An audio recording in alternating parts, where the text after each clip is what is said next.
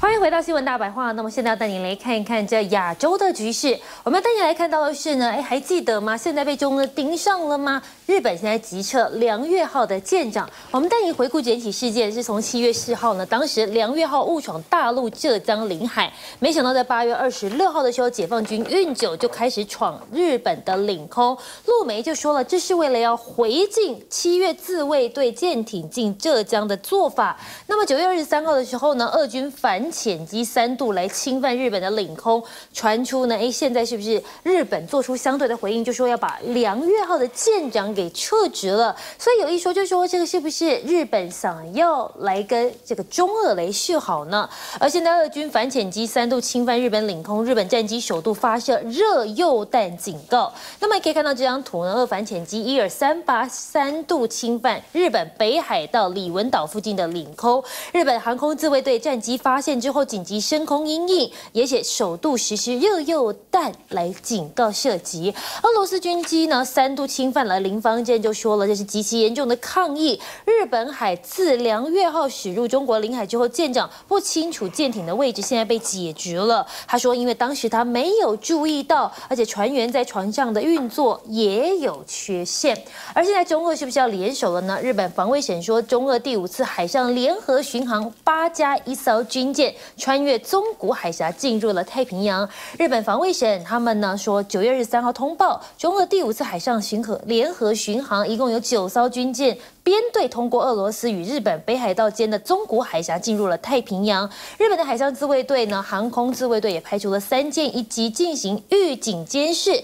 当然还要资料搜集了。那么，中国八一唯一的电子侦察船“天狼星号”二十二号晚间也出现在北海道的李文岛西北方六十公里的海域，随后跟随着中俄舰艇编队穿越了宗谷海峡，进入到了太平洋。那么，他们就觉得，就是中俄是不是来联手？对付日本的了呢？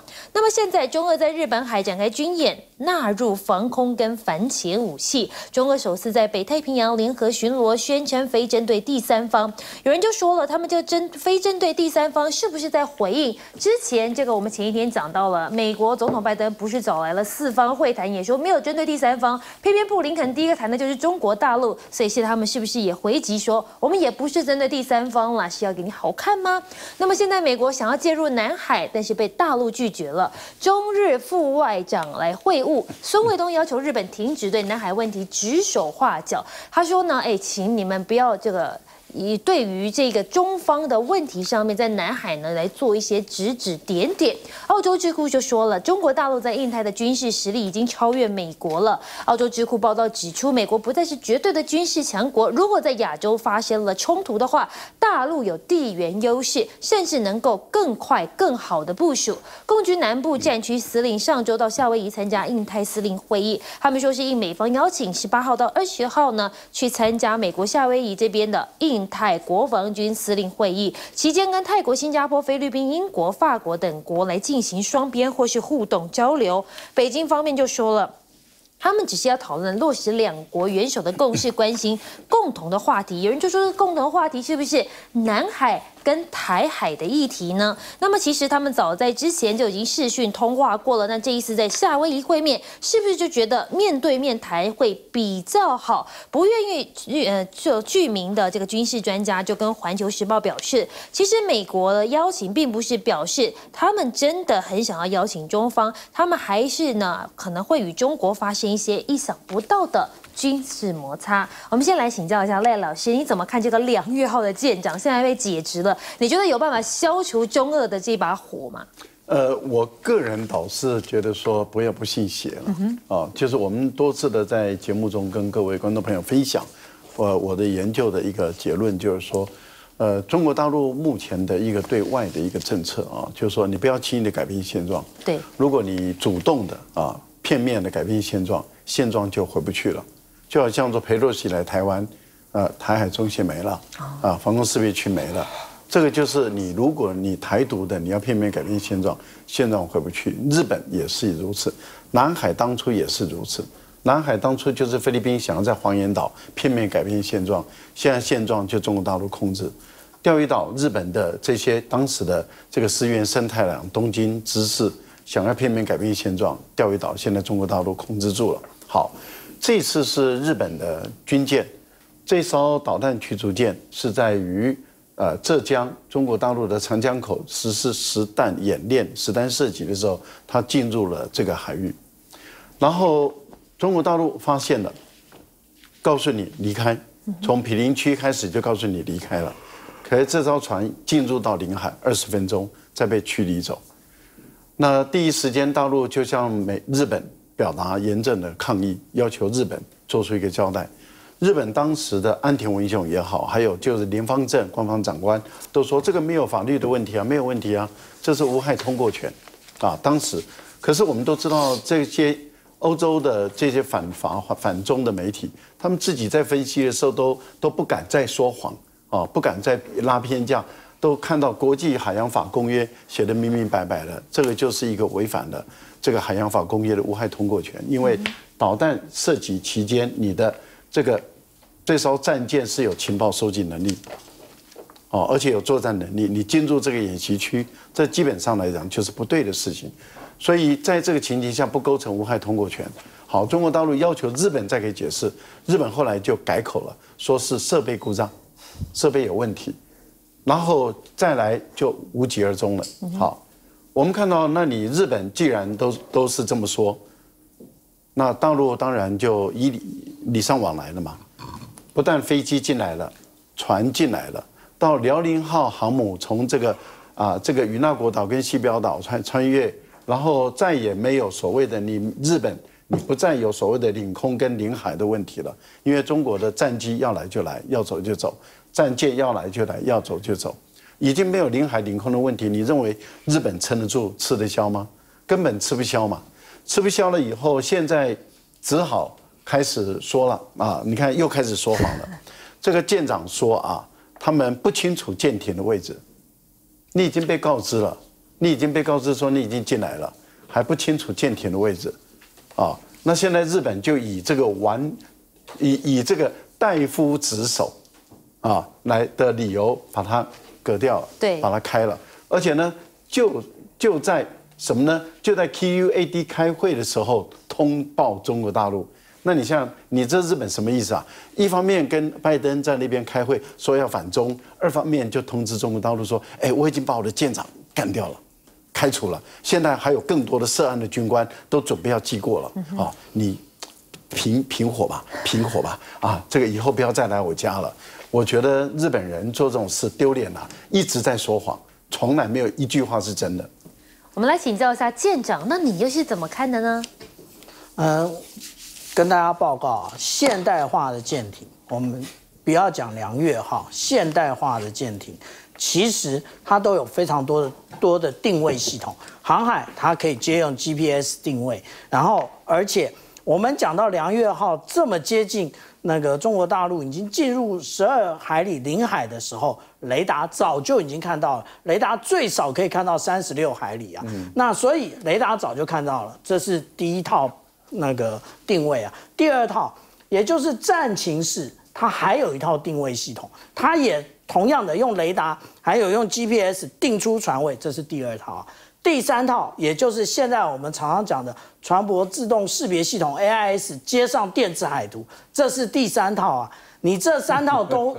你都没看到吗？对不对？或者我们可以这样讲啊，舰长也是可怜啊，人头借借日本政府一用嘛，对不对？那以后再慢慢补给你，这也是一种可能啊。那我们刚刚那个讲到现状就回不去了，什么叫做那个片面改变现状？现状就回不去。我们看到辽宁舰就是这样通过，通过与那国岛跟西表岛中间这个。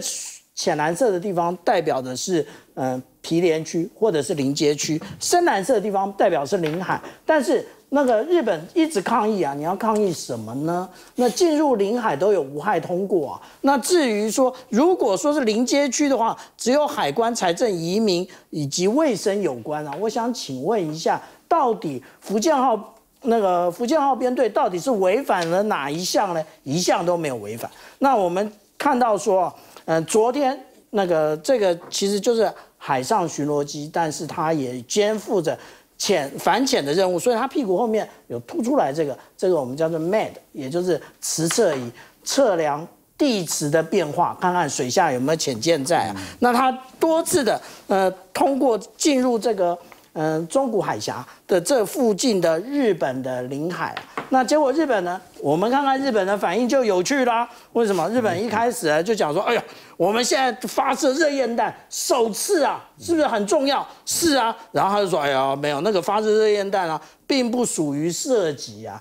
那所以这就是让我们回想到另外一件事啊，中国大陆对于抵近侦察的美军的这一些飞机，不是也打热焰弹吗？不是也对菲律宾打热焰弹吗？你们那个时候是怎么讲的？哎呀，不专业。这个时候我想请问，日本专不专业？日本也不专业吗？是不是？你干脆也讲日本不专业？这就我讲的。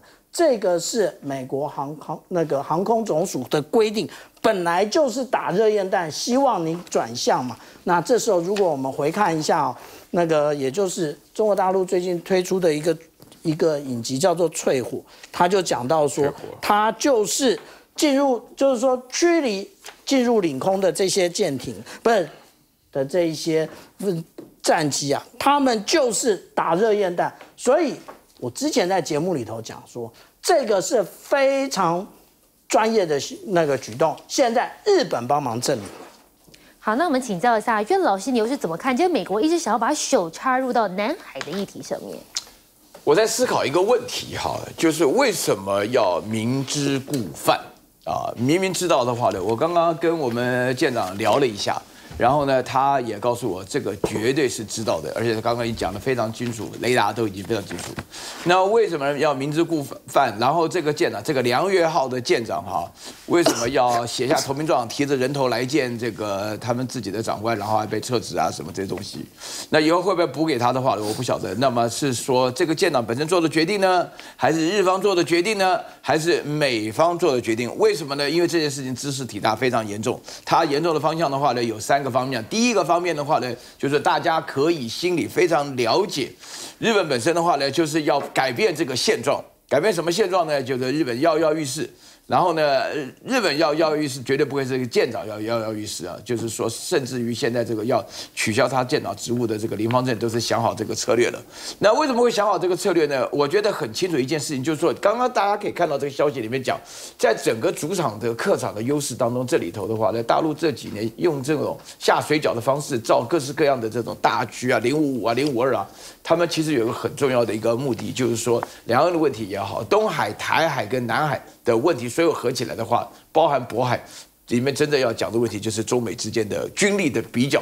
中立中美军力的比较呢，到目前为止呢，大家看到的情况都是用电脑的模拟的方面来计算。等于澳洲这边也讲到说说，美国一点胜算的把握都没有。但是大家要了解，美国不是像我们以和为贵的文化，美国都是处处要拿金牌的文化，对不对？在这种情况下，美国要讲说，那真的不行吗？来来来，试一试，试一试，改变现状，擦枪走火，试一试。那美国现在的话呢，他手上的棋子的话呢，有三个嘛。第一个的话呢，就是菲律宾嘛，现在看了不太管用嘛。然后第二个看到台湾呢，说句良心话，我们自己就是台湾人呐，就是怕的不得了。我绝大多数都怕的啊。我接受采访都强调和平主义，强调和平主义，就是说我发觉这种想要企图打仗的做法是非常不明智的。那现在的话呢，感觉上在记录当中胆子比较大的，有这种能力来一拼的。就是日本的，所以明知故犯的答案就是跃然纸上，大家已经搞得很清楚。就是长者是宝，需要陪伴与照顾，一人一点力，爱就大无限。